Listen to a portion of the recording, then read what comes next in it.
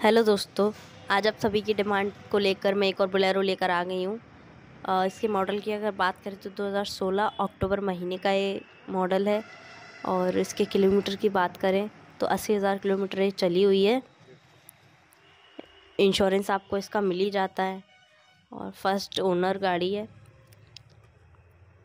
अगर इसके डिमांड की बात करें तो छः लाख तीस हज़ार इसकी डिमांड रखी हुई है।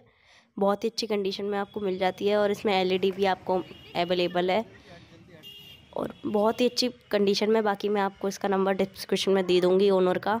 आप कॉल लगा कर उनसे बात करके डिटेल लेकर ले सकते हैं। एंड एड्रेस भी आपको डिस्क्रिप्शन में मिल जाएगा।